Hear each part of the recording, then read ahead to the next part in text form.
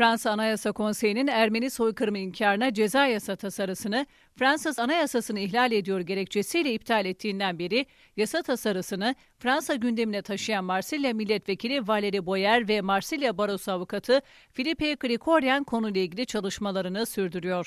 UMP Partisi Milletvekili Valeri Boyer'in Anayasa Konseyi internet sitesinden 2001 yasası normatif değil açıklamasının kaldırılması için Ulusal Meclis'e verdiği komisyon kurulsun teklifi reddedildi.